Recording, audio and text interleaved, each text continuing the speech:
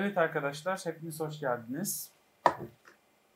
Ee, Bugün sizlerle e, tıbbi görüntüleme tekniklerini konuşacağız. Ben İhsan Hekimoğlu.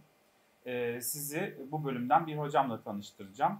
Hocam hoş geldiniz. Hoş bulduk İhsan Bey. Ee, İlk olarak birazcık geçmişinizden ve kendinizden bahseder misiniz? Tabii ki. Ben Emrah Kuloğlu. Haliç Üniversitesi Meslek Yüksekokulu Tıbbi Göğütleme Teknikleri programında öğretim görevlisi. Aynı zamanda da e, Tıbbi Göğütleme Teknikleri Program Başkanlığı olarak görev yapmaktayım.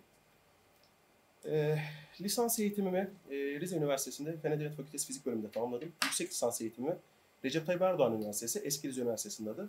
Orada e, fizik ana bilim dalı üzerinde tamamladım. E, lisansüstü eğitimden sonra bütün çalışmalarımın e, birçoğunu hatta öyle söyleyeyim e, iki farklı alanda daha yüksek lisans tamamladığım için biraz çalışma alanım biraz benim geniş ama çalışmalarımın birçoğunu tıbbi yönetme teknikleri programında yürüttüm. Teşekkür Ben ediyoruz. teşekkür ederim. Peki hocam, tıbbi görüntüleme teknikleri e, e, dediğimizde bu ne iş yapar? Bu tekniker e, ne anlama gelir? Tabii şimdi şöyle e, tıbbi görüntüleme teknikleri aslında bizim yeni ismimiz. Daha önceki ismimiz radyolojide halk dilinde çok daha bilinen bir ismimiz. E, tıbbi görüntüleme teknikleri e, yap iş sahamız e, genellikle e, kamu ve özel sektördeki sağlık kuruluşlarında başta röntgen cihazı olmak üzere röntgen, tomografi, MR gibi e, cihazları kullanan e, hastalıkların teşhis ve tedavisinde çok büyük bir öneme e, önemli bir rol oynayan e, tekniker arkadaşlardır, ara elemanlardır. E, bu programda mezun olan arkadaşlar e, ön lisans diplomasını e, tıbbi götürme teknikleri programı olarak alarak sahaya çıkarlar ve radyoloji uzmanlarına, e, radyoloji uzmanların istemiş oldukları bölgeye ve tetkike göre e, herhangi bir cihazımızla, işte görüntüleme cihazlarımızın herhangi bir tanesi, aslında yel- yelpazemiz çok geniş, birazdan bahsederim onlardan. Tamam. O cihazlarla beraber e, radyoloji uzmanımıza görüntünün e, ekrana düşürülerek hastalığının seyri, teşhis, tedavi amaçlarıyla kullanılan cihazlar ve bu cihazları kullanan nitelikli kişilerdir. Yani hastanelerde genelde çalışıyorlar Tabii ki. ve doktorların teşhis sürecinin daha e, objektif, daha Hı hı. yüksek, e, yani daha doğru teşhis Evet. e, vermesi için ihtiyaç duydukları e, bir konu aslında. bu. Evet, kesinlikle. Peki. E, Bu alanda peki arkadaşlarımız iki yıl boyunca hangi dersleri görecekler temel olarak? Öncelikle sağlık e, personeli olacakları için olmazsa olmaz bizim anatomi, fizyoloji, terminoloji, farmakoloji ve ilk yardım temel derslerimiz var. Ama o herhangi bir sağlık programına gittiklerinde de bu dersler temel dersler olarak geçer ama bizde en çok önemli olan görüntüleme 1, 2, 3, 4. Mümkünse 4 dönem. Bizde şu an 4 dönemdir.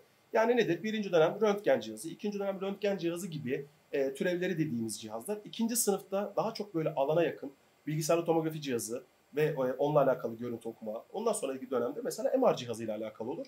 E, olmazsa olmaz radyolojik anatomimiz var. Çünkü e, bütün vücuttaki normal anatominin haricinde bizim radyolojik terimler kullanarak e, bir anatomi yapımız var.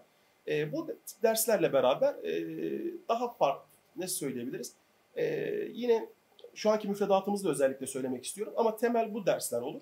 Onun haricinde ne olabilir? Bir nükleer tıp dersi olabilir, bir radyoterapi dersi olabilir, bir oral radyoloji dersi olabilir. Yani görüntülemek istenilen alan neresiyse, insan vücudu olabilir, kafatası olabilir, diş olabilir. Onunla alakalı bütün derslerimiz e, bu alana yönelik derslerdir. Peki hocam şimdi bu meslek yüksekokulu insanlar buraya meslek e, için geliyorlar. Ve burada da bir mesleği icra etmek e, nihai amaç. Bu noktada bizim uygulama sistemimiz yani hastane bağlantılarımız bunlar e, yani nedir? E, yoğunluğu nedir? Ve bu bağlantıları kim buluyor? Şimdi şöyle, e, o da e, üniversitemizin e, İstanbul İl Sağlık Müdürlüğü ile bir protokolü var. Şu an e, Haliç Üniversitesi Meslek Yüksekokulu'ndaki sağlık programlarının tümünde e, iki veya üç dönem e, hastane uygulaması dersi var. Mesela şu an bizim tıbbi görüntülemede üç dönem. E, haftada bir gün öğrencilerimiz uygulamaya gider. Bu uygulama tamamen üniversitenin sorumluluğunda. Ders programına da yazarız. Deriz ki örnek veriyorum Perşembe günü e, 40 öğrencimiz varsa 20 tanesi Perşembe günü şu şu şu hastanelere, Cuma günü şu şu hastanelere diye biz onlara hastane yeri ayarlarız. Çünkü bizim e, sağlık programlarımızın hepsi öğrencilerimiz teorik eğitimleri kadar pratik eğitimleri de olmak durumundadır. Hiçbir şekilde cihaz görmeden mezun etmemiz mümkün değil. Çünkü radyasyon yayan bir cihaz kullanacak. Yanlış bir şekilde hastanın vücuduna radyasyon göndererek o insanın belki ilerleyen yıllarda bir kanser olmasına, belki ölümle sonuçlanmasına sebebiyet vereceğinden dolayı biz de 3 dönem boyunca şu anki müfredatımızda hastane uygulaması dersi var. Onun haricinde de e, birinci sınıf, ikinci sınıfa bağlayan bir zorunlu yaz stajımız vardır. Bu e, çoğu vakıf üniversitelerinde ya da çoğu üniversitelerde öğrencinin sorumluluğundadır. Ama biz İstanbul ilinde yaşayıp da Ee, mesela sağlık lisesi çıkışlı öğrenci arkadaşlarım bir sağlık camiası tanıdığı olabiliyor. Onlar kolaylıkla bir yer bulabiliyor ama normal e, liseden gelen bir öğrenci arkadaşımız İstanbul'da da hiçbir şekilde e, sağlıkla alakalı bir e, bilgisi olmadığı için veyahut da çevresi olmadığı için staj yeri ayarlayamıyor. Birinci sınıf, ikinci sınıfa bağlayan ki zorunlu yaz stajında biz öğrencilerimize üniversite olarak da e, yer tahsis etme edebiliyoruz yani. Üniversitemiz ayarlıyor yani o Bey. Peki. Ee, yani e, peki bu yaz stajında e, işte bu işin e, sigorta durumu o, oluyor mu? Tabii, Onu kim tabii. yapıyor? Onu üniversitemiz yapıyor. Orada şöyle öğrencilerimiz uygulamaya gittikleri gün aralığı örnek verelim e, 20 iş günü ise hastaneye gittiklerinde ya da uygulamaya gittikleri alanda başlarına bir iş gelirse e, muhatap bulabilmeleri adına kısa süreli e, iş ve meslek hastalığı sigortası yapılıyor kısa süreli.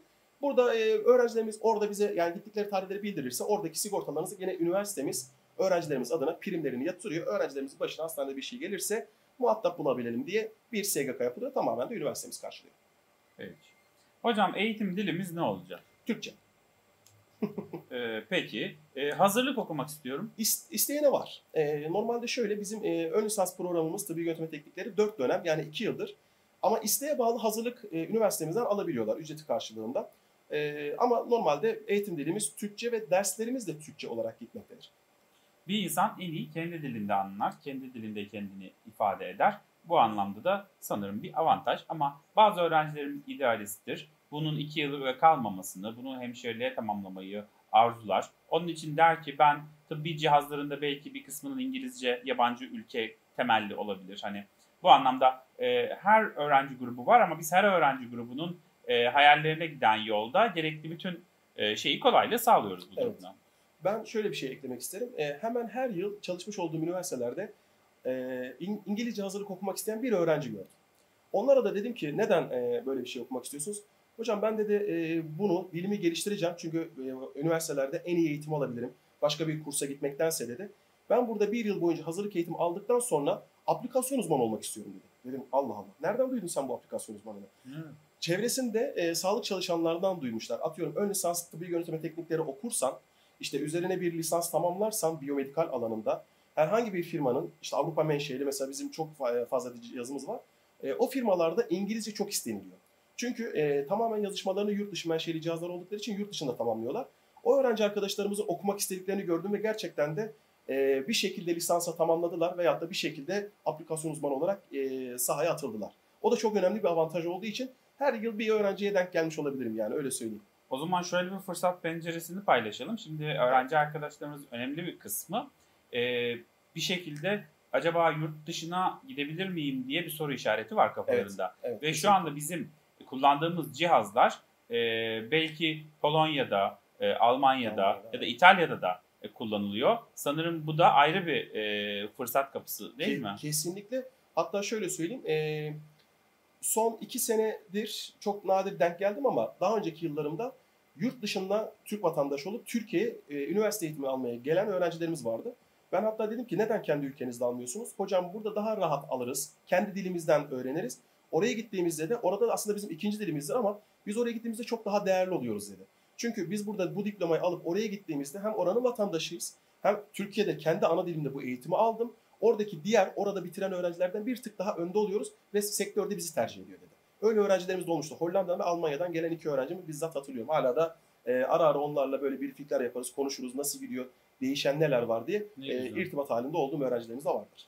Peki arkadaşlarımızın buradan mezun olabilmesi için e, kaç dönem, e, kaç ders, kaç AKTS, belki AKTS nedir onu söyleyebilirsiniz. Tamam, önce. öncelikle şöyle söyleyeyim. AKTS dersin e, yüküdür. Aslında daha önceki isimleri krediydi ama biz Kredi. e, daha sonra bunlar tüm e, üniversitelerde e, AKTS'ye döndü. Yani bir derse ne kadar fazla çalışması gerekiyor, ne kadar fazla bir ağırlığı olan bir ders. Örnek verelim bir anatomi 3 AKTS ise tıbbi yönetimi bir dersi mesela 7 AKTS. E, anatomi dersi 2 saattir, tıbbi yönetimi dersi 4 saattir. 4 saate daha fazla zaman harcaması gerekir gibi bu AKTS aslında bu şekilde hesaplanıyor. Ee, ama 4 dönemdir eğitimimiz. 4 dönemde her dönem 30 AKTS alarak 4 dönem sonunda 120 AKTS ve e, zorunlu yaz stajını tamamladıktan sonra Yük- Yüksek Öğretim Kurumu YÖK'ün belirlemiş olduğu 2.00'da yakaladıktan sonra öğrencimiz gönül rahatlığıyla mezun olabiliyor. Ders geçme sistemi, Ders geçme sistemi şöyle e, %40'a %60 olarak bilmekteyim.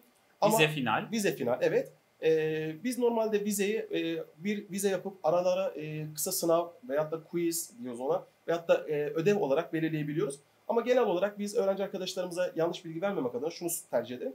E, üniversitemizin internet sayfasında e, yönetmeliğimiz vardır. Orada zaten bu çok detaylı bir şekilde harf notları, işte AA'lar, BA'lar nedir. AKTS geçme sistemi hepsi orada mevcuttur. Sabit bir geçme notu var ama burada. Ee, bunun için arkadaşlar e, gerçekten çünkü lisedekinden farklı bir sistem var. Harfler var, e, vize final kavramları var. Bu ayrı bir dünya. Bu nedenle şimdiden bunları bir araştırın. Kesinlikle. Peki ben e, hangi puan türüyle bu bölüme yerleşebileceğim? Ee, şimdi yeni puan türümüz TYT. Ee, birinci basamak dediğimiz sınav. Birinci basamakta girdikten sonra TYT puanı oluştu, oluşacak. Ondan sonra e, bizim kılavuzumuzdaki puana göre e, tercih ataması yapabilecek. Ama bu bölüm yeni açıldı. Yeni, çok Referans puanımız Yok. yok. Şu an Peki neye göre buraya yerleşip yerleşmeyeceklerini e, anlayacaklar? Şimdi şöyle ben e, öncelikle şunu söyleyebilirim. Diğer üniversitelerin bütün puanlarıyla bir kıyaslama yapılabilir ama e, yeni kurulan, kurulan programlar her zaman öğrencilerin e, avantajınadır. Çünkü puanları onlar belirleyecek. Şimdi biz e, 40 öğrenci alacağız. E, bizim okulumuza e, 41 öğrenci başvurursa en yüksek puandaki 40 öğrenci alacağız. 41. açıkta kalacak. 40. arkadaşın puanı da buraya baz alınacak. Yani e, kılavuzumuza yerleşecek. Hı hı. E, ama e, diğer üniversiteler e, yani yeni açıldığı için diğer üniversitelerle ilk sene belki aynı puan skalasını e, yakalayamayabiliriz. Bu bunun öğrenci arkadaşlarımız için çok büyük bir avantaj.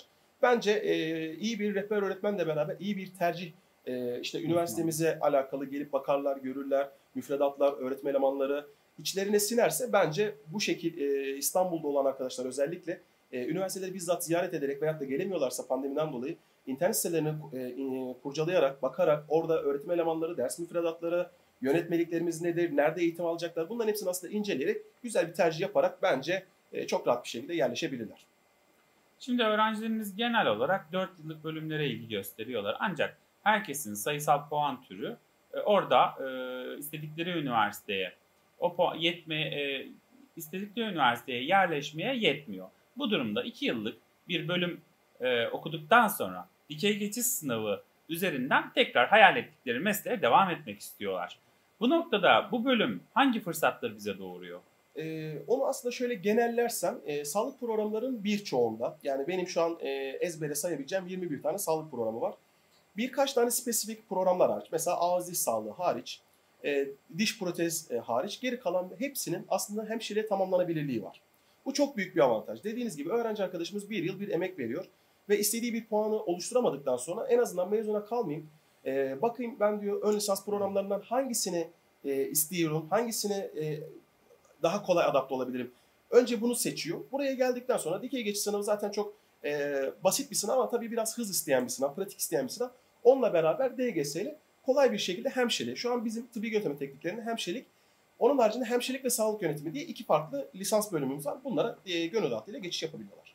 Ee, hem TYT sınavını biliyorlar arkadaşlarımız. DGS ile içerik olarak birbirine çok benzediğini söyleyelim. Ee, bizden 2 yıllıktan mezun olanların lisansa geçerken bir indirim aldıklarını söyleyelim. Hı hı. Burada da hemşirelik bölümü olduğunu ve Evet. hemşireliğin İstanbul'daki ilk açılan vakıf üniversitelerin başında geldiğini ve çok yüksek kalitede bir eğitim verdiğini de sanırım söyleyebiliriz. Kesinlikle. Ama dikey geçiş sınavı olmadan biliyorsunuz hiç kimse e, o sınavdan aldığı puan olmadan e, geçiş olmuyor. Yani Tabii puan ki, üzerinden tabii her şey e, oluyor. Yani Ama normal üniversite sınavı gibi e, dikey geçiş sınavına müracaat ediliyor. Türkçe matematik sınavı belli bir zaman aralığında. E, oradan oluşturdukları puan da üniversitedeki tercih gibi e, merkezi yerleştirmeyle tercih yapacaklar. Ona göre yerleşecekler. Tabii ki puan olacak. Ondan sonra e, hemşireliğe gönül rahatlığıyla başlayabilirler. Yani ulaşılabilir bir şey, yapılabilir bir şey. Bu anlamda lütfen e, korkmayın. E, hayallerinizden de asla vazgeçmeyin. Akademik anlamda bizim hemşirelikte ileri seviye yani lisansüstü eğitimlerimiz de var. Hani bu alanda biz e, sağlık alanında zaten sadece hemşirelik de değil çok e, oturmuş bir yani çok uzun yıllar 22 yıldır çünkü e, hemşirelik alanı devam ediyor. Çok uzun yıllardır e, sağlık alanında eğitim vermekteyiz. Buradan gelen bir e, kurulmuş sistem var açıkçası. O e, öğrenci arkadaşlarımız için çok büyük bir avantaj. Çünkü ön lisans programını bitirdiği üniversitede DGS ile hemşireliği tamamlamak ya da lisans programını tamamlamak her zaman öğrenci arkadaşlarımızın avantajınadır. Çünkü çoğu derslerimiz e, fakülte ile e, içerik olarak benzeyebiliyor ve derslerin birçoğu saydırılabiliyor. E, anatomi ise örnek verelim. Tabii anatomi çok spesifik bir ders olur ama belki ilk yardım diyebilirim. Belki terminoloji diyebilirim. Fakültede de bunlar görülüyor ama daha fazla. Yani e, yani onlarda 8 yarılı olduğu için daha böyle detaylı görülebiliyor ama AKTS'si falan tuttuğunda oradaki e, yetkili orada bu dersi e, yeterlidir deyip öğrenci arkadaşlarımızın bazı derslerini silerek e, belki birinci sınıftan belki ikinci sınıftan hani şöyle bir algı oluyor. Ben e, dikey geçiş sınavıyla hemen üçüncü sınıfa başlayacağım bir algısı oluyor ama öyle değil tabii. Derslerinin belli bir oranı sayıldıktan sonra öğrencimize bir e, statü verilir. Birinci sınıf, ikinci sınıf. Al, ikinci sınıf verilirse alttan birinci sınıf derslerini alır. E, ikinci sınıftan ders kalıyorsa üstten ders alır derken kısa bir zamanda tamamlayabilir. Her zaman e, e özellikle DGS düşünülen öğrenci arkadaşlarımızın kendi üniversitesinde devam edebilmesi çok büyük bir avantaj. Bu da e, Haliç Üniversitesi olarak onlara büyük bir imkan sunmaktadır. Çünkü bir alışkanlık oluşuyor, bir arkadaş evet. ortamı oluşuyor. Onun devamını öğrenciler tercih ediyor açıkçası. E tabii sistemi de öğreniyor, kampüsü biliyor, ulaşımı bir öğreniyor, e, hocalarını tanıyor. E, çünkü iki sene çok kısa bir zamanda geçiyor ve e, ben hep denk geliyorum öğrenci arkadaşlar. Ya çok e, iki sene nasıl bitecek falan. Bir bakıyoruz iki sene sonra kep atıyoruz. Sonra üzülüyorlar. Ya hocam işte çok hızlı bitti. Keşke biraz daha sürseydi. Açıkçası tadı damağında kalıyor. Yani yani az çok geliyor. az kalıyor. O yüzden bence Doğru. de yani hemşirelik şu an e, bizde bölüm olarak olması öğrenci arkadaşlarımızın sağlık programlarından hemşireliğe düşünen bir B planı olarak düşünen arkadaşlarımız için büyük bir imkan bence. O zaman buraya başlayanın yolu açık. Yani Kesinlikle. çünkü bazı üniversiteler sırf meslek yüksek okulu orada üniversite olmadığı için bir şey oluşuyor. Ne yapacağım ben şimdi duygusu evet. oluşuyor. Burada öyle bir duygu yok. Yok hayır. Yani çalışan bir öğrenci bu yolda yürüyebiliyor açıkçası. Çok Çalışıp... güzel bir imkan onlar için bence. Doğru. Peki şimdi arkadaşlarımız 2 yıllık sağlık bölümü istiyorlar. Bu, bu tıbbi görüntüleme bölümü de olabilir. Peki üniversite seçerken acaba nasıl o üniversitenin doğru ve nitelikli bir üniversite olduğunu anlayacaklar? Nasıl bunu e, araştıracaklar mı? Nasıl öğrenebilirler? Bence e, araştırmaları gerekmektedir. Çünkü şu an herkesin elinde internet ve akıllı telefon var. E, biz mesela ben Giresunluyum. Bizim zamanımızda ben e, üniversite sınavına girerken gene Haliç Üniversitesi vardı. Yani çok eski bir üniversite. E, ben kendim e, imkanlarımla işte bana yakın neresi vardı? Trabzon vardı, Samsun vardı. İşte İstanbul'da bir imkanım vardı. İstanbul'da geldim. Üniversiteleri böyle gezerdim. Bizim zamanımızda e, o zamanlar çok böyle e, internet e, pahalıydı yani. Şu an iletişim çok ucuz. Ben o öğrenci arkadaşlarımın yerinde olsam üniversitenin e, her bir şeyini araştırırım. Birincisi hangi bölüm istiyorum? O bölümle alakalı internet sitesine girelim. Ne kadar aktif bir internet sitem var ona bakarım. Hocalarım kimler? Ders müfredatları neler? Bu insanlar bu alanla çalışmış insanlar mı? Okulun bana uygulama veriyor mu? Okulun bana yaz stajında yer ayarlıyor mu? E tabi olmazsa olmaz ulaşım da çok önemli. Çünkü İstanbul çok büyük bir e, şehir. E, büyük çekmecesinden Tuzla'sına kadar e, İstanbul'da yaşayan öğrenci arkadaşlarımızın olduğu düşünülürse bizim üniversitemiz lokasyon olarak çok kolay bir yerde, merkezi bir yerde. Gerçekten de iki yakın arasında tam ortasında. Bence hepsini araştırmaları gerekmektedir ama e, en çok önem verdikleri şey bence öğretim elemanı kadrosu olsun. Öğretim elemanında dersine girecek insanlar kimler? Bizler oraya e, asparagas insanlar yazamayız. O insanların orada özgeçmişleri bulunmaktadır, resimleri vardır, e-posta adresleri vardır. Gerekirse orada hocalarla iletişime geçsinler.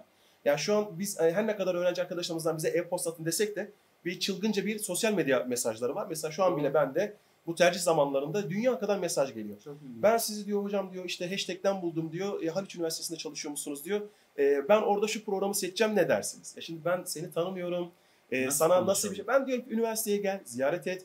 Üniversitede hocalarınla bir, birebir görüş. Belki ben sana şimdi burada çok şey söyleyeceğim. İlgini çekecek ama belki geleceksin çok pişman olacaksın.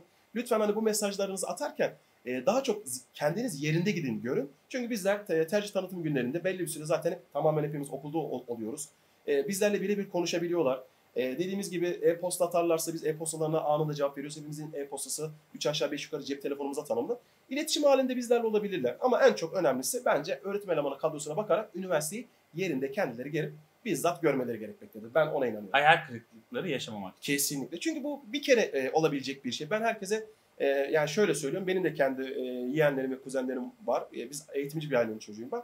Hepsine şunu söylüyorum. Üniversiteye sanki bir kere okuyacakmışçasına tercih yapacaksın. Ha bitirirsin, bitirmezsin. İkinci sefer üniversite imkanında ailen sana belki bir şey sunmayabilir. O yüzden git araştır. Ee, işte İstanbul'da yaşıyorsa al akbilini doldurayım ben seni diyorum. Git bütün üniversiteleri gör. Yani vakıf üniversitelerini gez, devlet üniversitelerini gez. Ama sen bunları göreceksin. Bir tanesine belki için ısınacak.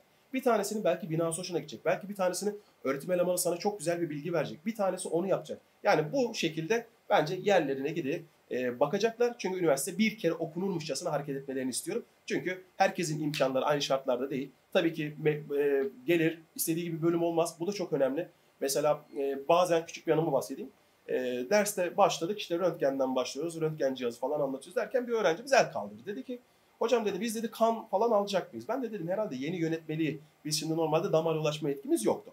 E, işte damar yol açılacağı zaman hemşire çağırdık ama devlet hastanelerinde çağırdı mı çok e, geç gelirler. Mecbur biz e, mesela biz kendi müfredatımızda da ilk yardım dersi damar yol açmayı anlatıyoruz. Şimdi öğrenci arkadaşımız dedim acaba bunu mu düşünüyor? Hani bize bu yetki verildi mi diye soruyor diye düşünürken e, dedim e, yani onlar şu an anlattım işte böyle. Biz dedi idrarla ilgilenecek miyiz derken ben anladım yanlış tercih yapmış. E, tıbbi laboratuvar tekniklerinin puanı şey e, işte kodu sonu 7 bizimkinin kodu 8. E, artık biliyorsunuz sisteme girdikten hemen orada yazıyor. Haliç Üniversitesi Meslek Yüksekokulu atıyorum tıbbi yönetimi teknikleri. Olur. Tıbbi laboratuvar tekniklerini yazmak istemiş. Öğrencimiz yanlışlıkla gelmiş. Ben de dedim ki hmm. hiç üzülme. Hemen bu dönem bütün derslerin olabildiğince yüksek yap. Hemen geçiş yap. Üniversitenin içerisinde kendi istediğin bölüme. Mesela bizde bazen çok oluyor. Yani çok denk geliyoruz. Oluyor değil mi de? Ve ben bu bölüme alışamadım. Ben bu bölümü istemedim. İşte ailem gönderdi. Ben diyorum ki istediğin hangi alansa hemen ortalamanı yükselt. Derslerin hemen hepsini ver. Çok rahat bir şekilde başka bir bölüme geçebilirsin. Başka bir programa geçebilirsin. Bu da çok büyük bir avantaj. Ve bu şekilde de öğrenci arkadaşlarımız bence hani istemiyorlarsa tıbbi yönetmeye geldiklerinde e, istedikleri farklı bir sağlık programı da puanının yetmiş olduğu e, belli şartlar var. Onları öğrenciler daire başkanlığından öğrenebilir. puanla, ek puanla, maddeyle. Ek madde, ek madde 1 diye geçiyordu yanlış bilmiyorsam. Onunla beraber başka bir programa kayıt yaptırabilirler ve istedikleri e, programı okuyabilirler. Amaç e, onların meslekleri olacak. Sonuçta hayat kırıklığı yaşamasını hiçbir öğrencimizin, hiçbir gencimizin istemeyiz. Hemen e, mesajda tercih konusunda gelelim. Arkadaşlar tercih sürecinde hocalarımızın ve bizlerin size soracağı sorular var. E, bu anlamda size birkaç kelam edebilmemiz, sizi tanıyor olmamız lazım. Hangi şehri istiyorsunuz? O bölüm bitirmekteki amacınız ne? Bu anlamda hem okulda hocalarımız olacak hem de bizim internette Discord e, sistemi üzerinden hocalarımız e, e, internetin başında olacaklar ve siz online olarak onlara ulaşabilirsiniz. E, sesli olarak ifade edin kendinizi, sorularınızı, konuşarak e, anlatmaya çalışın. Bu dönem böyle yazarak e, çok uzun süreçte bir e, sonuç almak için doğru bir dönem değil. Vaktimiz az. Bu anlamda da lütfen soru sormaktan çekinmeyin. Bir de yine bölüm üniversite seçerken yani puanı düşük, fiyatı düşük, evime yakın mantığıyla değil, liyakati olan insanlar içeride var mı mantığıyla. Yani hocamızın geçmişte bu alanda çok fazla tecrübesi olduğu için şu an bu koltukta otururken rahat konuşabiliyor. Çünkü oradan gelen bir konfor alanı var. Bu anlamda akademisyenlerin e, kendi bölümlerinde geçmiş iş tecrübeleri olması onları sizinle daha güzel ders anlatabilir hale getiriyor ve daha meşru bir şey oluşuyor değil mi? Kesinlikle. Şimdi bizde e, öğrenci arkadaşlarımız lise gibi zannediyorlar. Şimdi mesela bizim bazı derslerimiz 2 saat, bazı derslerimiz 4 saat. Şimdi öğrenci diyor ki 4 saat nasıl geçecek? Ya bazen öyle bir ders anlatıyoruz ki 4 saatin nasıl geçtiğini gerçekten anlamıyoruz. Bu e, tamamen e, mesleki tecrübe diyoruz biz buna. Çünkü bizler de inanın e, her yıl e, anlatacağımız ders müfredatlarını yeniliyoruz, güncelliyoruz. Bazen e, değişiklikler oluyor. İçeride e, sahada çalışan öğrencimiz dip, e, mesela teknik, e, teknisyendir, sağlık lisesi çıkışlıdır. 15 sene teknisyenlik yapmış. Maaş e, tazminat alabilmek için tekniker diplomasına ihtiyacı var. Şimdi e, karşıda 15 senelik bu işi uygulamasıyla yapan bir insan var. Bazen bir şey anlatırken oradan el kaldırıyor diyor ki o değişti. Allah Allah nasıl değişti? Sırf biz bunlara maruz kalmayalım diye inanın her yıl bizim en hani üniversitemizin en yoğun zamanı tercih tanıtım. Tercih tanıtım bittikten sonra da biz akademisyenlerin işi oluyor.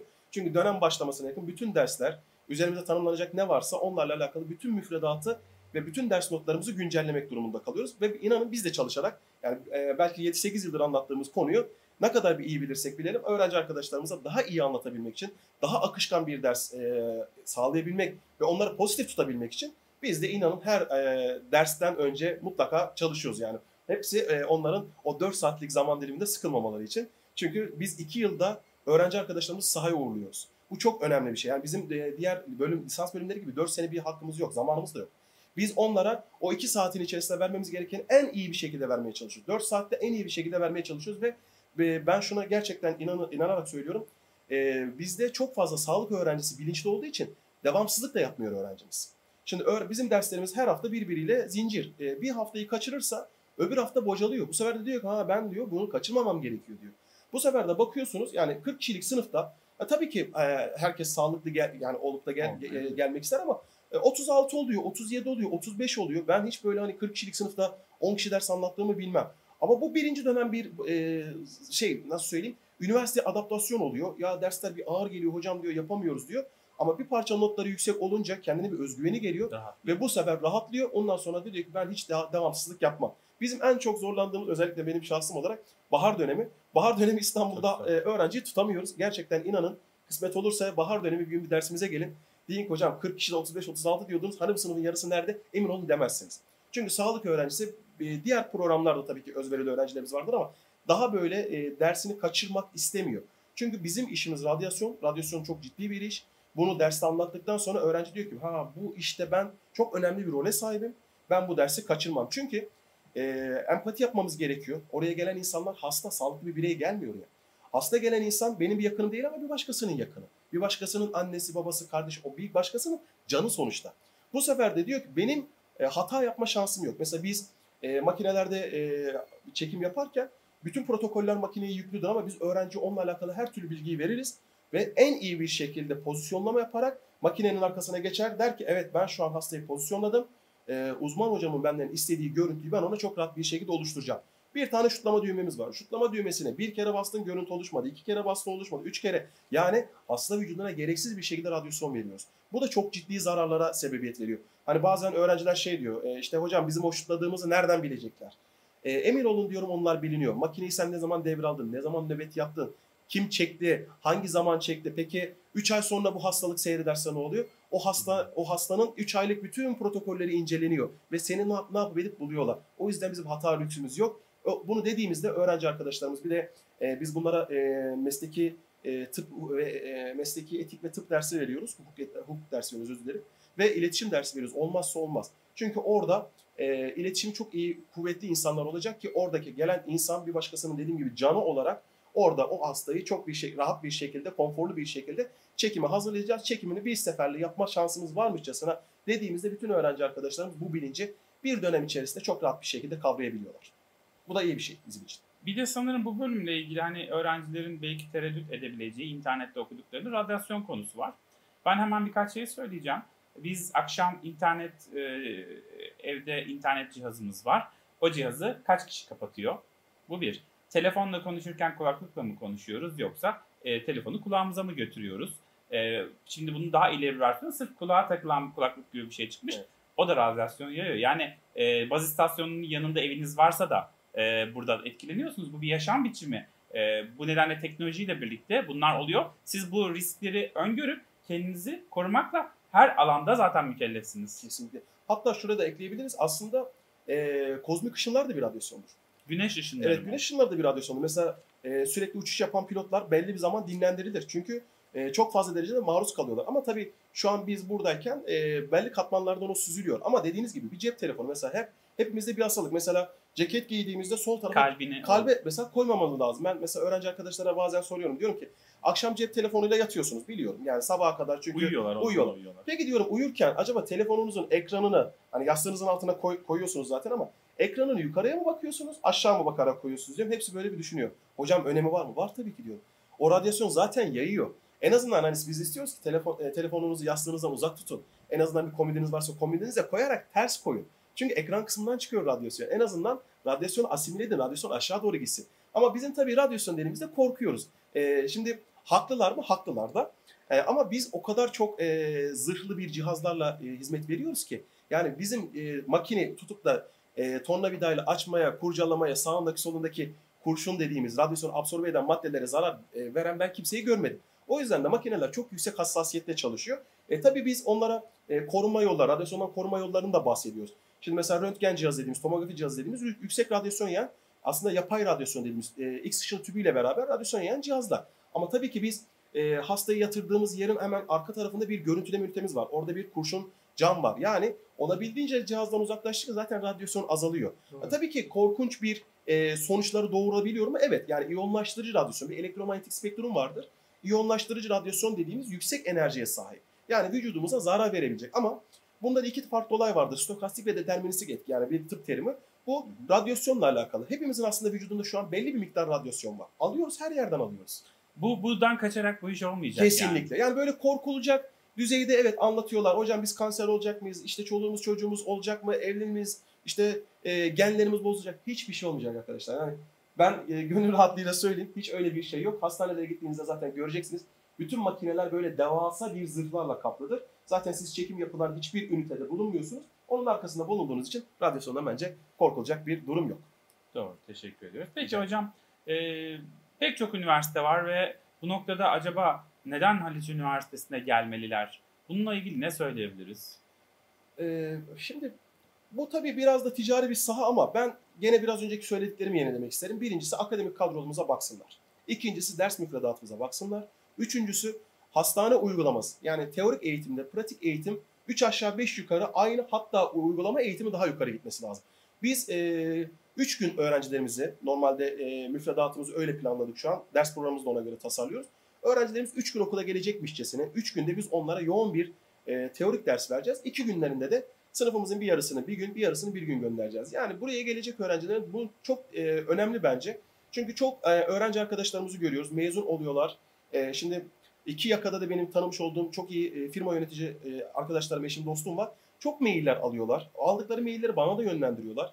E, işte öğrenciyi çağırıyorlar. Ben de hani sen de gel hocam sen de bir bak diyorlar. Gidiyoruz sohbet ediyoruz. Hiçbir şey bilmiyor. Yani e, diyorum ki hastane uygulaması ya da mesleki uygulama gördün mü? Hocam resmiyette gördük ama işte haftada bir gün gittik. Yani koskoca 4 hafta şey 4 ayla bir kere mi gittiniz? Evet onda da ne kadar öğrenebiliriz ki diyor.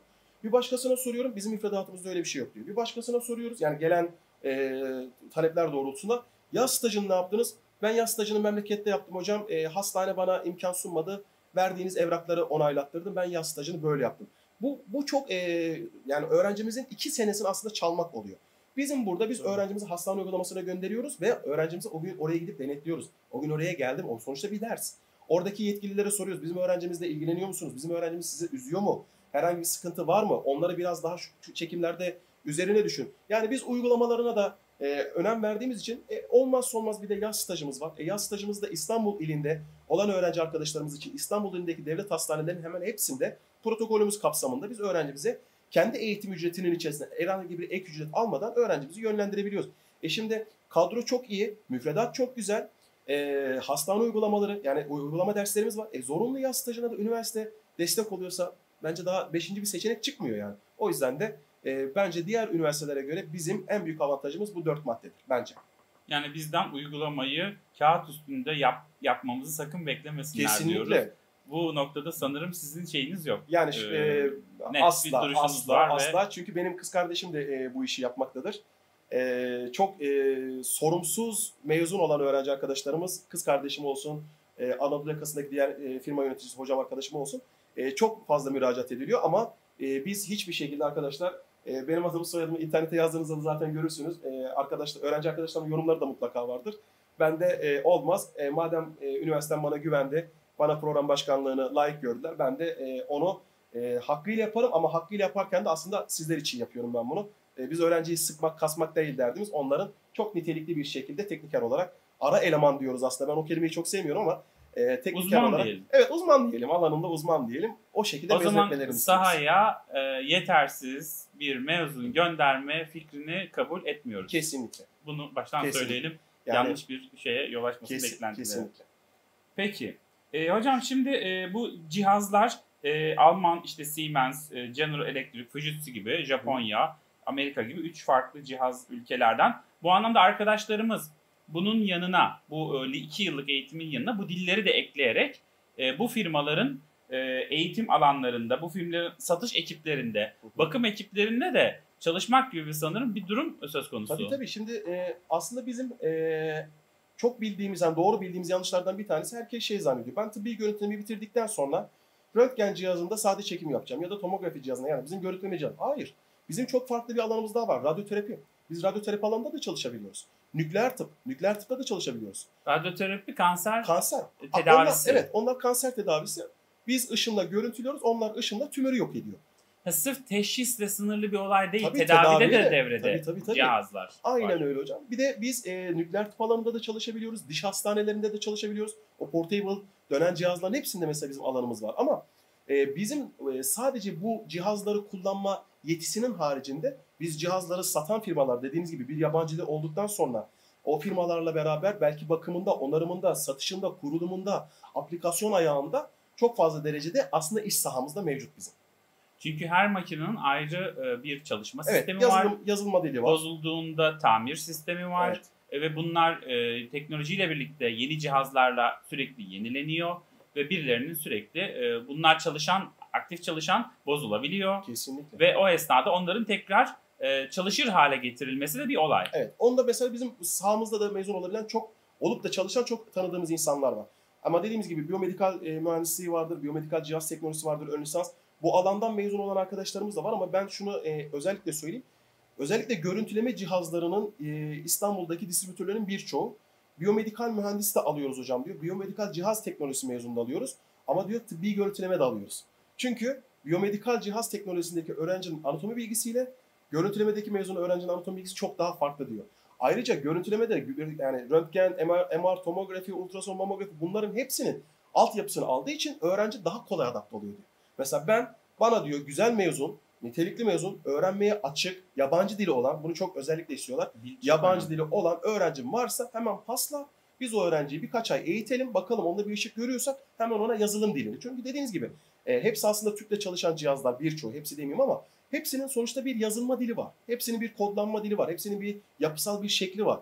Bunların içerisinde çok fazla derecede tıbbi görüntüleme teknikleri mezun öğrenci alıyorlar. Buradan da duyurmuş olalım. Teşekkür ederiz.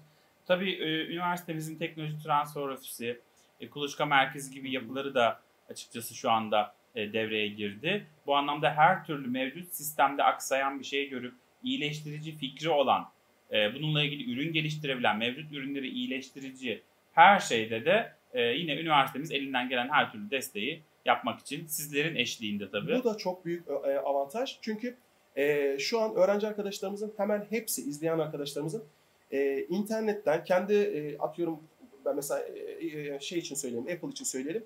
İşte Apple Store'ya girdiklerinde emin olun anatomi, fizyoloji, radyolojik anatomi, görüntüleme bir, röntgen, tomografi gibi kelimeleri aratsınlar.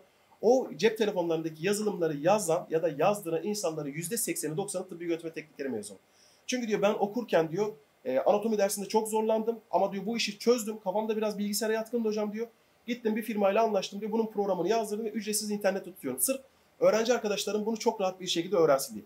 Dahası bazı hastanelerde çalışan, uzun yıllar çalışan teknisyen arkadaşlarımız da yine böyle cep telefonu uygulamaları yazmışlar. Diyor ki mesela ben radyolojik anatomi dersi ya da özür, özür dilerim şunu söyleyeyim. E, röntgende mesela el grafisi çekecek. Hastaneye gitmeden cep telefonu uygulamasıyla ben röntgende el grafisi nasıl çekerim diye tıklıyor. Orada bütün protokoller çıkıyor. Çekim teknikleri şu şekil olacak. Elini şöyle koyacaksın. işte lateral koyacaksın. işte AP çekeceksin. PA çekeceksin. Yani öğrenci hiçbir şey bilmeden sadece cep telefonu uygulamasıyla bile bunları sahaya gitmeden tecrübe edinebiliyor. Bu, bu, ve bunları yapanların birçoğu da tıbbi görüntüleme teknikeri mezunu. Buna inanın yani. Çünkü sahadan geliyorlar. Sahadan geliyor, Orada biliyor. hastanın yaşadığı sorunları biliyorlar. Kendi yaşadıkları sorunları. Bunun sisteme zaman anlamında, maliyet anlamında ne tür yükler bindirdiğini bildiği için çözüme gidebiliyor. Çünkü yarayı biliyor. Ve çok güzel de bir şey. Ve ben çoğu öğrenci arkadaşıma e, işte yeni gelen öğrenci arkadaşlarımla tanıştığımızda onların çoğunu hepsine şöyle söylüyorum. Şöyle şöyle şöyle uygulamalar var. Bunları lütfen cep telefonunuza indirin. Şu derslerde size lazım olacak. Ve bunları yazanların bir tanesi şudur, bir tanesi budur, bir tanesi budur. Yani bunlar da sizin gibi iki sene önce bu koltuklarda oturan öğrenci arkadaşlarım da dedim mi hepsi böyle şaşırarak izliyor ve e, o arkadaşlarımın hemen hepsi de öğrenci arkadaşlarımızın daha kolay bir şekilde bu işe adapte olmasını sağlayan böyle yazılımlar yapıyorlar. O zaman e, yazılım ya da bilgisayar mühendisliği düşünüp yeterli puanı alamayan arkadaşlarımız için henüz her şey bitmiş değil. Tabii ki. Bu teknolojik cihazlarla çok yakın bir iş ve ben e, Amerika'da yap Amerika'yı araştırıyorum. Orada en çok hangi alan gelişiyor diye insan ömrünün işte 85'ten 105'e çıkacağı şeklinde bir öngörü var.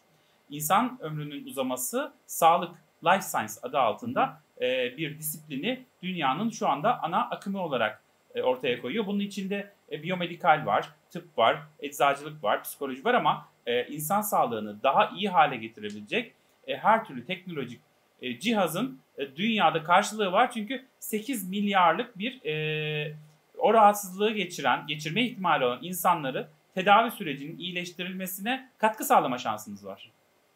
Bunu da e, büyük bir potansiyel olarak sanırım söyleyebiliriz. Kesinlikle.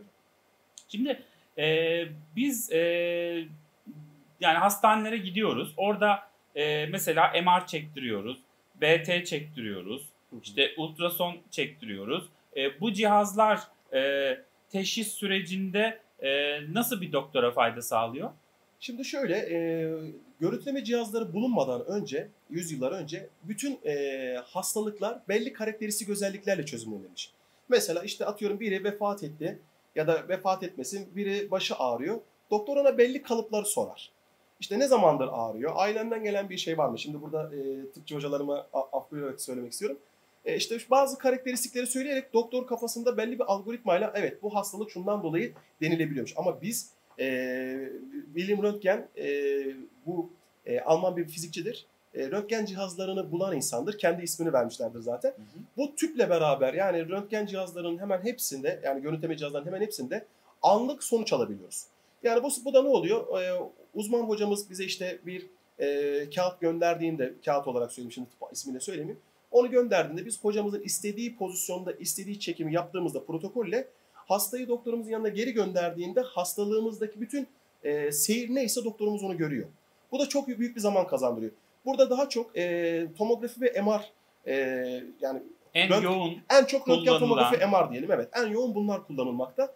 E, tomografi e, çok hızlı derecede e, çözüm verir ve kemik dokuları çok iyi analiz eder. MR cihazı biraz daha e, uzun e, süreç verir. Mesela 2 dakikalık bir çekim belki MR'da 5 dakikalık olabilir. O da yumuşak dokuları çok daha iyi gösterir. Aslında cihazların hepsi belli bir prensiple çalışıyor. İnsan anatomisini e, teşhis etmek için çalışıyor. Ama hepsi farklı durumlarda. Mesela bir halı saha maçı yaptık, ayağımız burkuldu, hastaneye gittiğimizde röntgen isterler. Ama bir trafik kazasında bir insan geldiğinde hemen e, acile gelen insanı acil BT'ye gönderirler. Çünkü çok hızlı bir şekilde e, teşhisi ve tedavisine yol çizecek rol bizden başlıyor. Çünkü e, e, sağlık sektöründe hasta hastaneye geldiğinde karşısına bir doktor geliyor. Evet. O doktor o hastalığı hastanın e, sorununu teşhis etmeden neyin tedavisine başlayacak? Evet, o Sorun yüzden de burada başlıyor. gönderiyor. Yani siz burada e, kritiksiniz. Evet. Hatta şöyle bir istatistik var. E, 10 hastanın 7 tanesi doktor tarafından direktmen görüntüleme ünitesine gönderiliyor. Şimdi eskiden e, şimdi e, bildiğim için yani yanlış da söylemek istemiyorum bir performans olayı vardı son zamanlarda. Şimdi doktor e, sizle ilgilenemiyor. Çok fazla uğraşamıyor.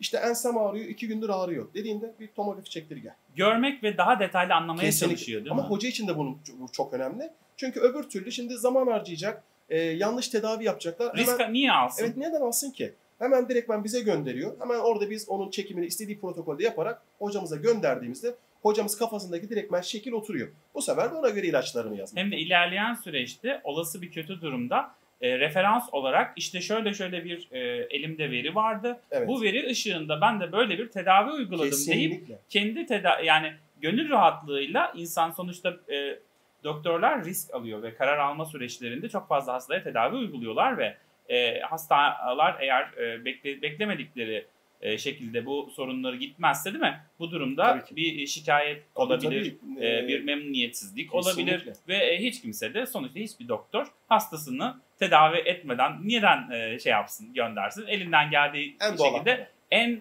hızlı ve en emniyetli tedavi Evet. uygulamak istiyor. En hızlı çözümde görüntülemeden geçiyor. Doğru.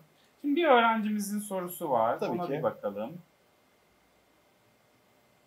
Şimdi e, kaç yıl saha tecrübeniz var bunu soruyor. E, yatay geçiş düşünüyormuş. E, alanda tecrübeli hocaların az olduğunu e, söylüyor. Teorik bilgiye sahip e, olduklarını e, söylüyor. E, bu noktada hocamız, e, öğrencimiz yani birazcık saha tecrübesi olan e, e, akademisyenler arıyor anladığım kadarıyla. Ne söyleyebilirsiniz? Şimdi e, öncelikle öğrencimiz bizim e, üniversite için mi söylüyor, genel olarak mı söylüyor bilmiyorum ama iki şekilde Bizim cevaplamak istiyorum. üniversitemizin tecrübe hocalarımızın geçmiş iş, iş tecrübelerinin Tamam. yılını soruyor. Şimdi yani şöyle, ben- bir yıllık mı, on yıllık mı gibi. Şimdi o zaman şöyle söyleyeyim onu. Ben hani iki farklı da cevaplamak isterdim. E, öncelikle şu an kadroda iki kişiyiz biz. E, Hastanede çalışmış mı diye soruyor. benim için mi? Evet siz ve diğer hocalarımız. Ben ya iki- ben siz temsilci olarak ben konuşuyorum ikimi- iki- sizinle. ikimizi de anlatayım. Şimdi öncelikle bizim e, kadromuzda Doktor Serkan İlkbahar var. Kendisi askeri GATA'dan emekli. Ankara'da yaşamakta ve şu an tüm Türkiye'ye hastanelere doktorlarımız rapor yazmada yetersiz kaldıkları için kendisinin böyle bir e, rapor yazma bir şirketi var. Yani elinin altında 50-55 tane sadece doktor kalıyor. Doktorla rapor yazıyor. Onların tepesinde bir insan. Yani altındaki altyapıyı siz düşünün. Birincisi bu. Serkan İlkbahar, doktor öğretim üyesi. O bayağı ileri seviye. O yani çok, bu- çok, çok iyi. Tüm Yani- Türkiye'ye hizmet veren bir girişimin 81 başında. ilde e, bir radyoloji doktoruna Serkan İlkbahar dediğinizde mutlaka tanır. O Serkan tanımazsa İlkbahar. Serkan evet, İlkbahar doktor öğretim lütfen üyesi. araştırın. İkincisi ben e, arkadaşlar e, konu şey m, konuşmanın başında söylemiştim. Ben Fen Fakültesi lisans mezunuyum, fizik mezunuyum. Benim yüksek lisans çalışmalarımın çoğu sağlık üzerine. Benim hastane deneyimim yok. Ama ben e, bütün İstanbul ilinde e, hemen hepsi hatta %80'i %90'ında e, iki Anadolu yakası ve Avrupa yakasında işe alım yapan iki tane büyük firmanın yöneticisiyle beraber çalışmaktayım. Yani şöyle söyleyeyim. Av- Avrupa yakasındaki e, yöneticiyle Avrupa Anadolu yakasındaki yöneticiyle biz e, biz teorini biz verdiğimiz için onlar saha uygulamasına hakim olduklarından dolayı herhangi bir şekilde bizden mezun olduğunuzda o firmalara müracaat ettiğiniz emin olun bizi arıyorlar ve bizim eğitimimizi sorguluyorlar. Ha benim hastane tecrübem bu konuda hani onu soruluyorsa o yüzden Yani hastanede çalışmış mı diye soruluyor ama Hastan, hayır şimdi şöyle, hastanede fizikçi çalışmaz. Hastanede sağlık fizikçisi çalışır. Sağlık fizikçisi e, çalışır, çalışmak için de e, normal şartlarda e, KPSS ile atanması lazım. Hastanede sağlık fizikçisi de ne yapar? E, tı- tıbbi görüntüleme cihazlarının bakımında yardımcı olabilir. Bakımından sonra radyoterapide doz hesap, hesaplaması yapabilir. başka bir orada Tabii o, o bambaşka var. bir şeydir. Biz akademik olarak baktığımızda biz bütün müfredatları öğrenciye, bütün sektör tem- temsilcileri, mesela bizim şu an bir danışma kurulumuz Hmm. oluşturuldu. 7 kişilik çok güzel bir danışma kurulumuz var. Hepsi de sahada en önemli kitaplar yazmış, çalışmalar yapmış nitelikli insanlardır. Zaten buraya geldiklerinde onlarla da böyle e, ara ara toplantılarımız olacak. Bu insanlarla beraber biz müfredatlarımızı oturturuz. Ben işin teorik kısmındadırım. E, dışarıdan gelen hocalarımız olur. Dışarıdan gelecek bir hocamız da var. Hatta onun da ismini e, verebilirim. İstanbul Üniversitesi İstanbul Tıp Fakültesi Çapa'da e, Profesör Doktor Memduh Dursun. Onun Memduh ismini Dursun de hocam. yazdığınızda Tamam. her yerde bulabilirsiniz Memduh hocamızı. E, normalde biz e, teorik olarak mesela ben e, radyasyondan koruma dersi yani bir tıp hocası radyasyondan koruma dersini anlatır ama benim kadar anlatamaz. Bu işin e, piri de benim. Ama ben de e, e, nasıl söyleyeyim tomografide görüntü oluşumunu en iyi ben anlatırım ama yorumlamasını hocam yapar. Yani Uzman. diyorsunuz bu konu Teorik başka bende, uzmanlık tabii, dallarının tabii, tabii. kontrolünde geçen bir İlla, olay. illa hastanede çalışma tecrübemiz olmasına gerek yok. Öğrencimizin Çalışmalarımızın hepsi sağlık üzerinedir ama. Tamam. Öğrencimizin kaygısı yani alanda bu cihazları e, kullanmış hocalar Ben bana daha kullandım. fazla fayda Tabii sağlar tabii ben diye. de kullandım ama ben Kullanmamış hocaların teknik anlamdaki teorik bilgileri hani benim saha ben sahaya çıkacak sonuçta o Hı kendini düşünüyor. Sahaya çıktığımda o cihaz önümde olduğunda ben onu çok iyi bir şekilde kullanabileyim ve hiç kimseye Hiç, hızlı hiç yani kaygıyı söyleyelim. Haklı haklı. haklı. Onun Sonuçta kaygısı haklı. çok normal. Ama şöyle de söyleyebilirim. Benim çalışmalarımın hepsine bakıldığında e, röntgen, tomografi, MR üzerine bir dünya çalışma var. Yani bunlarla alakalı ulusal, ulu- ulusal çalışmalarımız mevcut. Yani arkadaşlar öyle şey düşünmeyin. Hani ya bir fizikçi bize ders anlatacak ama cihaz bilmiyor. Emin olun ben cihazı biliyorum. Ben de cihazla çekim yapıyorum ama sizin sorduğunuz soru hastanede bir çalışma ortamı. Yani ben sizin gibi bir ön lisans diplomasına sahip değilim ki hastanede e, resmi olarak bir hasta çekim. Ama o hastanın, e, o cihazların, bütün cihazların hatta görüntüleme cihazların hemen hepsinin yapısı fizikseldir ve fizik e, prensipleriyle çalışır. O yüzden ben teorini anlatırım. Serkan İlkbahar ve Memduh Dursun da size bu işin e, tıp kökenli oldukları için sizlere uygulamasını anlatır. Ve biz zaten sizi sahaya uygulamaya gönderdiğimizde emin olun ne Memduh hocam size e, denetlemeye gelecek ne Serkan hocamız ben geleceğim. Çünkü oradaki cihazların e, çalışma prensibi de ben biliyorum. O yüzden tekniker diplomam olmadığı için e, hastanede tıbbi görüntüleme teknikleri alanında çalışmadım. yaptırmazlar. O Tabii, şey tabii, olmadan yasak. onu Ben kendi- siz yapamazsınız. Şimdi şöyle ben e, bende birkaç tane deneme cihazım var. Yani hastanelerde ömrünü tamamlamış cihazlar. Ben zaten çalışmalarımı orada yapıyorum. Mesela siz geldiğinizde size çok rahat bir şekilde e, tedavi yapabilirim. Ama yasak. Yani hukuki bir takım şeyleri Tabii, var tabii, bu tabii, işin. yasak, yani yasak. başka bir e, engelimiz var. Arkadaşımızın şöyle bir durum var. Diyor ki ders saat ücretli hocalar dönem ortasında gelmeyi kesebiliyor diyor. Bu böyle bir kaygısı var. Böyle bir şey olur diye Bizde yok. endişe ediyor. Bizde yok. Bizde yok. Hatta şöyle söyleyeyim e, o öğrenci arkadaşımıza. Biz böyle e, her dönem size e, çok az paraya gelecek hoca bulmayacağız arkadaşlar. Bakın bu iki ismi söylediğim kişileri lütfen araştırın. Serkan İlkbahar, Memduh Dursun, Emrah Kuloğlu. Bu da, o da ben. Yani isimler belli Evet, diyorsunuz. isimler Eğer belli. bir kaygı varsa Ee, biz hani bizim bu noktada bu üçümüzün e, hangi üniversitelerde çalıştığını, nerelerde iş yaptığımızı, özellikle üçümüzün yayınlarının neler olduğunu, bizi sektöre de sorabilirsiniz. Yani şu an e, İstanbul dışından da söyleyebilirim çok rahat bir şekilde. Herhangi bir yere gidin. Arkadaşlar Türkiye'de üç tane görüntüleme derneği vardır. Bu üç tane görüntüleme derneğinin ben hem bilim kurulunda hem de düzenleme kurulunda yer alıyorum. Yani bu siz sahayı zaten seviyorsunuz. Ben sahadayım, Yani, sürekli sahadayım ben e, şey zaten. değilsiniz. O yüzden Sadece yani- teorik olmasından ziyade hep bir ayağınızın hep sahada, Sahada, e, olması olmak size zorunda. bir rahatlık veriyor olmak zorunda. ve böyle daha mutlusunuz. Evet kesinlikle. Tamam. Ee, yani burada öğrencimiz İstanbul'da hangi üniversiteyi önerirsiniz diyor. Bunu siz cevaplayın buyurun. Hangi üniversiteyi? Haliç Üniversitesi'ni. Yani biz evet burada iddialıyız arkadaşlar. önerelim. Rahat olun. Yani Evet. sağlık alanında da iddialıyız. Meslek yüksek okulumuzun idaresinden hocalarına kadar da e, burada gerçekten çok oturmuş bir yapı var ve yani e, doluluk oranlarından da bir iki yıl incelerseniz zaten göreceksiniz Ben arkadaşlar. o öğrenci arkadaşıma, şu- e, arkadaşımıza şunu da söylemek istiyorum. Hani dedim ya e, internet sayfasına girip bizlere bir bakın. Yani biz orada e, sadece isim olarak yokuz. E, benim adımı soyadımı Serkan İkbar ve Mehmet Dursun internette zaten Google'a yazıp arattığınızda hangi üniversitelerde kaç tane öğrenci, benim şu an e, yanlış bilmiyorsam en son 4000 üzerinde öğrencim olmuştu. Ben hepsini veri tabanında tutuyordum. E, bu insanların yani bu üçümüzün araştırmalarını çok rahat bir şekilde yapabilir. Yani her şey e, bizde legal yani illegal hiçbir şey yok. O yüzden ee, yine aynı şekilde çalışmalarımızda şimdi öğrenci arkadaşlarımızın birçoğunda şu e, kaygı var. Ben onu o yüzden iki kere yani iki alanda mı cevaplam de- demek istediğim sebebi buydu. Bu da şu. e, çok fazla vakıf üniversitesinde tıbbi yönetme teknikleri programı mevcut. E, öğrenciyi oraya yerleştiriyorlar. İçin başına bir tane e, idari işleri yürütecek bir hoca arkadaşımızı koyuyorlar. Hoca arkadaşımız alanla tamamen alakasız. Öğrenciye ders saati ücreti hocaları en ucuz, en az para çeken, sağda solda ders e, anlatma yetisi çok zayıf hocaları belki buluyorlar. Ve bu arkadaşlar iki yılda mezun oluyor. Biraz önce ben söyledim, isim vermedim ama Evet. çok fazla derecede mezun olan öğrenci arkadaşımızı iş sahası, özellikle İstanbul için konuşuyorum. İş sahasında ben e, kendim geçen sene 14 tane özgeçmiş bende hala mevcut. E, öğrenci arkadaşlarımız İstanbul'da hani gelir de okulumuza bizde tanışırlarsa bende hepsi mevcut. 14 arkadaşımızın sadece iş başvurusundaki referanslarını aradım. Onların eğitimlerine birebir birebir şahit olduğum için ve bildiğim için o 14 arkadaşımız İstanbul'da işe girdi. Yani şu an e, bir önceki çalışmış olduğum üniversitede ön 14 öğrenci arkadaşımızın işe girmesi şu sıkışık zamanda imkansız bir şeydi. Ama saha dedi ki Avrupa yakasına gittiğinde sen nereden mezunsun şu okulda bu adamlardan mı ders aldın dedi kabaca söylüyorum. Evet dedi. Bizleri aradıklarında ve öğrenciler bu şekilde nitelikli bir ders programına e, e, sahip olduklarından, iyi bir ders müfredatına sahip olduklarından dolayı öğrencilerimiz şu an sahada çalışıyor. Şunu da söyleyebilirim. Ben şu an hemen her hastanede e, mutlaka mutlaka bir çalışan öğrencimi yani 3 aşağı 5 yukarı artık görebiliyorum. Ama bu tabii e, bir senelik, iki senelik tecrübe değil. Burada 7-8 senelik bir tecrübe var. 7-8 senede öğrenci arkadaşlarımız İstanbullarda belli yerlere e, sonuçta ulaştılar. O yüzden bizlere araştırmalarını e, isterim. Buradan Evet. öğrencimize de tabii teşekkür ediyorum. Tabii ben de. İnsan bir okula girdiği zaman o okuldan şikayet etmek yerine e, varsa yapabileceği bir şey, bir değişim şansı onu da araştırması lazım. Sonuçta e, o okuldan mezun olduğunda e, iş bulmakta zorluk çekerse bu arkadaşımız buradan zarar görecek. O da haliyle e, girdiği bir yanlış yolu en hızlı bir şekilde e, doğruya çevirmek istiyor ve orada deneyimlerini bir başka yerde de yaşamak istemiyor. Kesinlikle. Arkadaşlarımız lütfen buradaki öğrenci e, arkadaşımız soruyu soran öğrenci arkadaşımız bir cesur olsunlar E, ve e, bir memnuniyetsizlik kalite anlamında bir sorun varsa o işi sürdürmek yerine düzeltme yoluna gitsinler. Ben e, zaten burada biz şu an onlar için varız. Yani bize her türlü soruyu sorabilirler.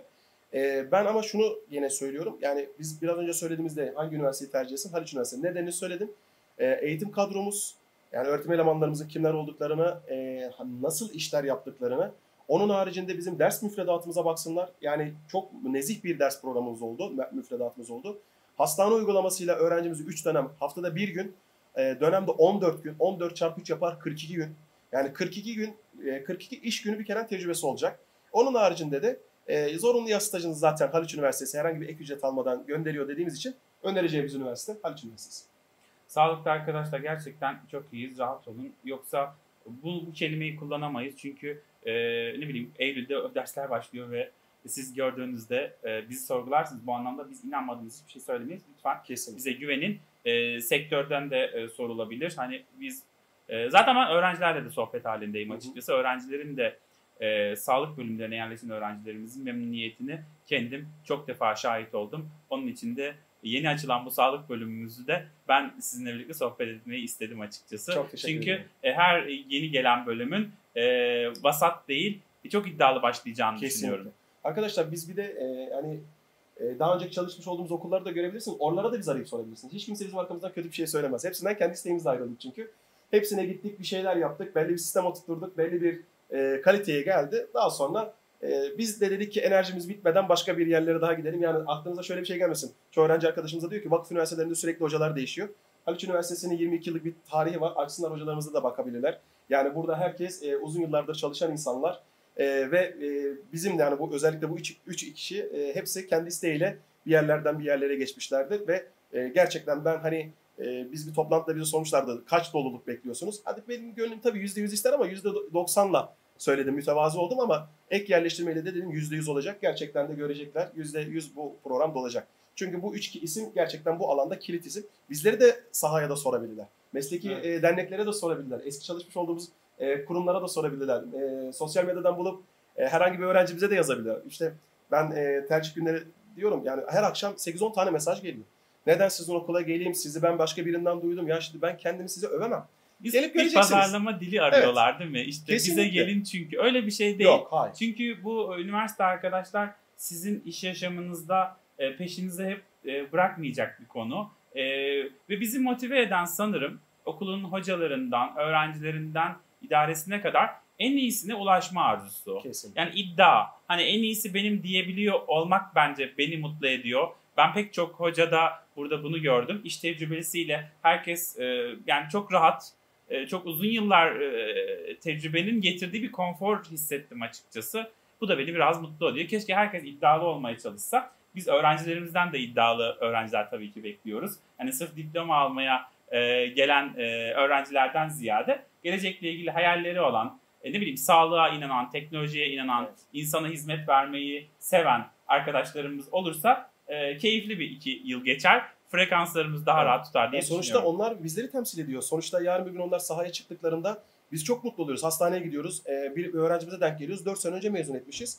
Bir bakıyoruz hala hastanede çalışıyor. Hocam diyor ben 4 senedir burada çalışıyorum. Çok güzel. Bir başkası Haziran'da mezun ediyoruz. Temmuz'da işe başlamış. Mail atıyor hocam ben Temmuz'da işe başladım.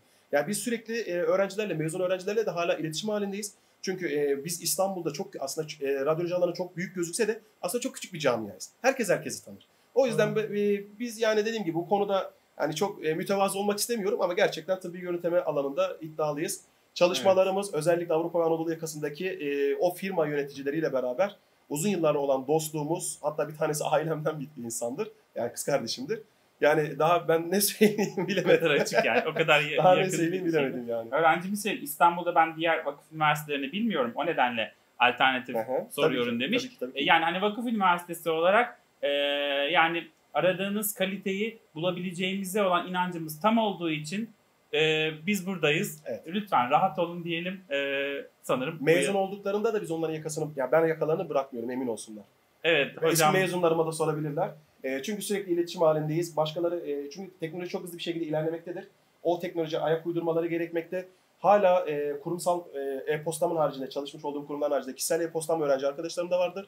Hala öğrenci arkadaşlarım hocam bir yere özgeçmiş göndereceğim. Bir de siz göz, göz gezdirebilir misiniz? Ya biz e, onların hayatlarına dokunabiliyorsak, onların meslekte bir e, diğer arkadaşlardan bir gömlek daha ya da bir tık daha ileri seviyeye taşıyabiliyorsak bence en önemli mutluluk bu. Eğitim çünkü budur. Eğitimci bir ailenin çocuğuyum. E, benim için pazarlama yapmak değil. E, gelecekler, okuyacaklar, mezun olacaklar, işe girecekler. Alnılara, ak, ailelerin arkalarına diyecekler ki ben bu okula gittim, mezun oldum, işe girdim. Bu hocalarımız sayesinde dedikleri zaman biz zaten e, başka hiçbir şey dememize gerek kalmıyor. Her işe giren öğrencimize de inanın gözlerimiz doluyor. Ne mutlu onlara diyoruz. Ne güzel biz eğitim vermişiz diyoruz. Her şeyi üniversitemizi e, düşünüyoruz. Çünkü buraya bize inanıp bize güvenip gelecekler. Doğru. Özellikle İstanbul dışından e, yazan arkadaşımız için. E, sonuçta İstanbul'da şu an kaç tane vakıf üniversitesi var? Ben sayısını inanın bilmiyorum güncel. 50. Yani bu çok ciddi bir sayı. E, haklı tabii ki araştırma ama e, üniversite inter- internet sitesi, öğretim elemanları, öğretim elemanlarının özgeçmişi, ders müfredatı, teorik ve pratik eğitim ve zorunlu yaz stajı. Bu ve 4-5 madde hiçbir zaman değişmez.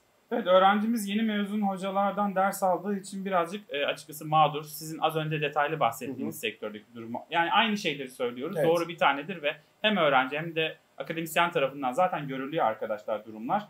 E, diğer hocalarımızla da yayın istiyorlar. E, belki hani biz bir yayın yapıyoruz ama diğer hocalarımız da soru sormak isterlerse bizim Discord kanalımız olacak. Hı hı. Sonuçlar açıklan yani e, sonuçlar açıklandıktan sonra çok e, hızlı bir şekilde eminim konuya ilgi duyacaksınız. Orada e, ya hocamız ya da diğer hocalarımız e, online olarak internetin başında olacaklar. Onun dışında kampüste de dönüşümlü olarak bölümdeki bütün hocalarımız tüm tercih dönemi boyunca kampüsümüzde sizin sorularınızı yanıtlamak üzere buradalar arkadaşlar. Yani diğer iki hocamızı da burada görebilirsiniz. bir sıkıntı yok. Kesinlikle. Ee, biz e, bu konuda memnun oluruz yani. Sizin araştırma isteğiniz bizi mutlu eder. Bu anlamda öğrencinin hakkıdır araştırmak, Hı hı. sorgulamak. Ee, keşke bütün öğrenciler sizler gibi olsa. Sonuçta e, emek veriyorsunuz, e, zamanınızı ayırıyorsunuz. Tabii. En iyisi önemli. olmalı. E, inanın e, ben de sizin yanınızdayım. Peki, e, yüz yüze de görüşebilirsiniz. E, hiçbir sıkıntı yok. Serkan Hoca e, gelsin demişler. E, Memduh Hoca. Onlar da e, hocam üzerinden sektöre yayılacağız arkadaşlar. Merak etmeyin hocamın ilişkileri var. e, şey Hocamızı kullanacağız, belki ama e, tabii şimdi onların yoğunluk durumlarına da e, bağlı olarak e, tercih zamanlarında belki hani sizlerle beraber bir çalışma yapıp o üç hocamız bir Zoom açabiliriz. Ya da bu kanal üzerinden Neden olmasın? yapabiliriz yani eğer öyle bir talep varsa. Yani hocalarımız da E, istiyorlar evet. Tabii tabii yani hocalarımı ben ikna ederim. Zaten biz e, uzun yıllardır beraber çalışıyoruz. Abi Siz kardeş bizi gibiyiz. sektöre açılan kapımız olun hocam. Çünkü Seve seve. yani Seve sizin de seve. arkadaşlık ilişkileriniz, sektörde e, dostluklarınız vardır. Kesinlikle. Öğrenci arkadaşlarımızın da en büyük isteği bu işi bilen birilerini dinleyelim ve bu işi en iyi bilenlere yakın olalım ve e, elimize iş yapışmasın hani e, yakışsın Tabii, tabii. e, derdindeler. Teşekkür ediyoruz o zaman. E, e, arkadaşlarımız bizi dinlediler. E, bir cumartesi günleri yaklaşık bir saatini e, bize ayırdılar. Bu yayını tabii YouTube'a da koyacağız. E, hep bu şekilde açık arkadaşlar. E, lütfen e, burayı bu şekilde değerlendirin. Biz öğrencileri e, dediğim gibi yakın olmak istiyoruz. Çünkü iki yılınız hocam, hocalar, akademisyenler değil mi? Bir aile gibi Tabii, oluyorsunuz kesin. sanırım. E, diğer e, faaliyetler, diğer sektörler gibi düşünmesinler. Biz e, şöyle dedim biraz önce de onu hani söylemek istiyorum. Gerçekten görüntüleme camiası çok küçük. Aslında çok devasa gözüküyor ama herkes herkesi tanıyor. Yani hangi üniversitede yani şöyle söyleyeyim İstanbul'da 50 dedik ya mesela ben onun 30 tanesinde tıbbi görüntüleme programının kim yürütüyor, hangi hoca yürütüyor, kaç doğumlu, hangi alanda çalışmalar var. Hepsine hala, hakimsiniz. hala böyleyiz. Arkadaşlık Süper. sonuçta. Ve e, bizim her yıl kongrelerimiz oluyor. Mesela ben ikinci sınıf öğrencilerimiz her sene, bu sene gidemedik e, pandemiden dolayı. Mart ile Mayıs ayları arasında bizim kongrelerimiz olur. İkinci sınıf öğrenci arkadaşlarımıza e, ben onlara birinci sınıfta anlatırım bu olayı. Üç aşağı beş yukarı paralarını ayarlarlarsa derneklerin kongrelerine giderler. Zaten kongreye gittiğinizde bu Herkes camiada birbirini- kimler varsa herkes herkese Süper. O tanır. zaman kongrelere de gidiyoruz Gideceğiz arkadaşlar. inşallah gideceğiz. E, bu işi okulun içinde tutmuyoruz. Sahaya iniyoruz ve her zaman Çünkü o kongre onlar için çok önemli oluyor. yanındayız. Ee, mesela ben bir birkaç kitap söylüyorum öğrenci arkadaşlarıma. O kitap, yani biz mesela şeydeyiz yani şu kitapları alacaksınız, bunlardan işleyeceğiz, bunları soracağız diye bir şey yok. Her şey bizim burada. Biz onları zamanında yükledik. Ders müfredatlarımıza yansıttık. Derste anlatırken sunumumuz açık olur. Öğrencimiz bir görsel belki isteyebilir. Sunumumuzun üzerinden yürütürüz ama o insanları mesela bir iki isim söylüyoruz. Mesela ben birkaç gün önce bizim işin duayenlerinden biri vefat etti. Benim sosyal medyamda da paylaştım. Ee, ilk kuşak e, teknisyenlerden bir insan 85 yaş- yaşında vefat etti. Ee, şimdi baktığınızda bu insanları kongrelerde öğrenci arkadaşlarımız tanıyabiliyor. Mesela ben kitabını önerdiğim öğrenci arkadaşımız, bir hocamıza kongrede diyorum ki bakın o kitabın yazarı bu. Hemen gidiyorlar, onlar bir görüyorlar, diyorlar ki ya hocam siz mi yazdınız bu kitabı?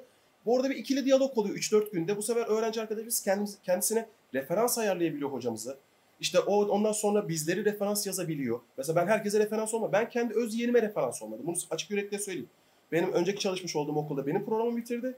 Ee, Bolu Abant İzzet Baysal'da hemşirelik okudu. Şimdi daha yeni KPSS ile Doktor Sadi konu atıldı. Kendi öz yeğenim ya. Şu an izliyorsa selam olsun. Ki ona referans olmalı. Referans çok önemli bir şeydir. Oradaki Doğru. insanlara her kongreye katıldığınızda her hoca size referans olacak diye bir şey yoktur. Biz öğrenciyle dört dönemde e, o kadar çok haşır neşir oluyoruz ki kimin gerçekten istekli, kimin isteksiz olduğunu biliyoruz. Mesela yine benim e, dediğim gibi sosyal medyada öğrenci arkadaşlarımla iletişim kurup onlara da sorabilirler. Ben herkese referans olmam. Mendo hocam olur. Mesela Mendo hocam çok iyi niyetli, iyi yürekli bir insandır. o riski alır, O alır, ama alır. ben emin Ama- olmadan Şunu söyleyeyim, e, bir sektöre yani bizim alanımızda birine gittiğini de referanslarda Mendo Dursun'u görürlerse Mendo Hoca yaramazlar. Emin olun. Çünkü biliyorlar Mendo Hoca herkese referans olur. Serkan İkbal herkese referans olur. Ama benim orada adım varsa derler ki ha bu iki tanesi zaten referans olmuş. Biz bir Emrah Hoca'yı arayalım, bir Emrah'ı arayalım, bir soralım. gerçek bilgi sizde. Ben kesinlikle ben eğriye eğri demişimdir. Alım, alınmasın. Gerçekten herkes e, illa mezun Objektif olduktan yani sonra da- tabii hayır. Yani Ee, bizim şey. çok iyi öğrenci arkadaşlarımız benim mezunken e, o çok kötü ve ben ona referans olamam.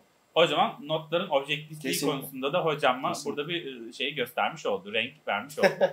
Peki. Bayağı Hocam tanıttık kendimizi. Gelmeyecekler. gelirler hocam. İnşallah. Gelirler. E, Onları Çünkü herkes samimiyet ve dürüstlük arıyor şu anda. Başka bir şey bence aramıyor. Geri kalan şeyler hallolur. Peki hocam ağzınıza sağlık. Ben de çok teşekkür ediyorum buraya çağrıldığım için. Ee, sınava girmiş, sonuçlarını bekleyen, tercih yapacak arkadaşlar. Tercih günlerimizde bizler hepimiz bir fiil okuldayız. Dediğimiz gibi gelip bizlerle tanışabilirsiniz. O insanlarla sizleri görüştürebilirim. Ee, yanlarına gidebilirsiniz. Onları yerinde ziyaret edebilirsiniz. Bir tanesi zaten İstanbul'da Çapa'da.